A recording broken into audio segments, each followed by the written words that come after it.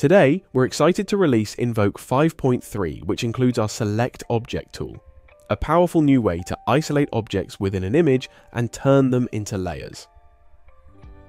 Whether you're fine-tuning specific elements or changing backgrounds, Select Object makes it faster and easier to get precise control over your images. To start using Select Object, make sure you've added a raster layer to your canvas by dragging the image from your gallery that you want to segment. Click on the Select Object tool, which opens the selection box below your image on the canvas. There are two types of points you can add, include and exclude.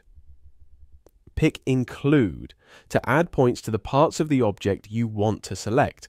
Pick Exclude to mark areas you don't want selected. Depending on your image, you may not need to add exclude points, but they're available for added precision. With auto process turned on, the model will automatically try to detect the object you're selecting as you add points. If you turn auto process off, you can place all your points manually and then click process to have the model segment the object from the rest of the image. For best results, fewer points are usually better. Once you've set your points, you can also invert selection to choose everything outside the selected object, which is great for isolating a background. When you're ready, you can hit Apply to replace your raster layer with the current selection, or you can save your selection as a new layer, either a raster layer, regional guidance layer, control layer, or in-paint mask.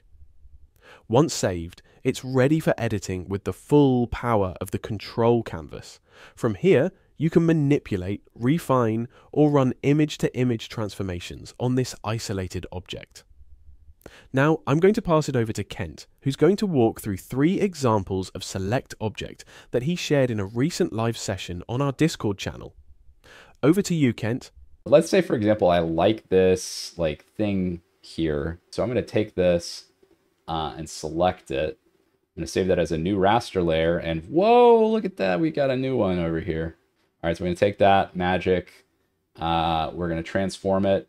And boom, I'm flipping it flipping it. Now we got another one over there.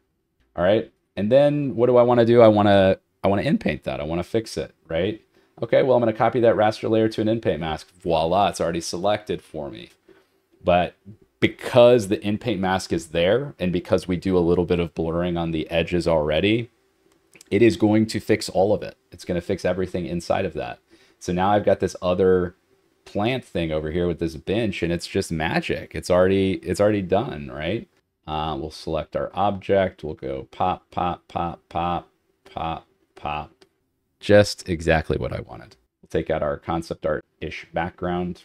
Now let's say that we want to put him, where do we want to put him? Let's put him on the beach.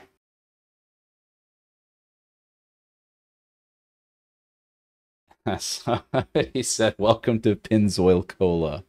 It's funny. We'll do a little martini glass. Draw in. You know, this is where I get. This is where I get the tablet out. Cool. We like that. You know, we've got a little sketch there of our uh, martini glass.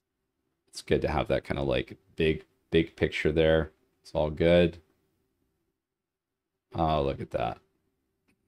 Again, my sketch, my sketch quality notwithstanding, uh, we do have our new martini. So We've taken we've taken our robot. We've taken him out to the beach. We've given him a martini glass. Uh, we're happy. You might think that this image is too hard for the segmentation model. Let's give it a test. We'll get some hands, we'll get some head, we'll get some body. And we'll get down here.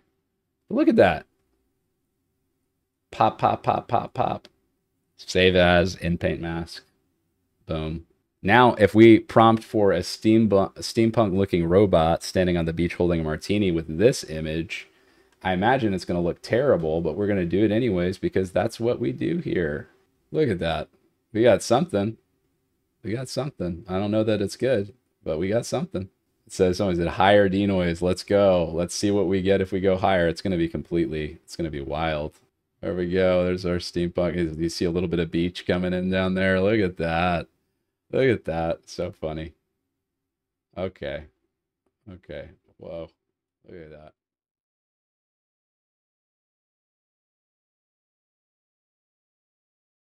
Invoke 5.3 adds support for Flux Global Reference images, expanding our layer options, which added control layer support in Invoke 5.2.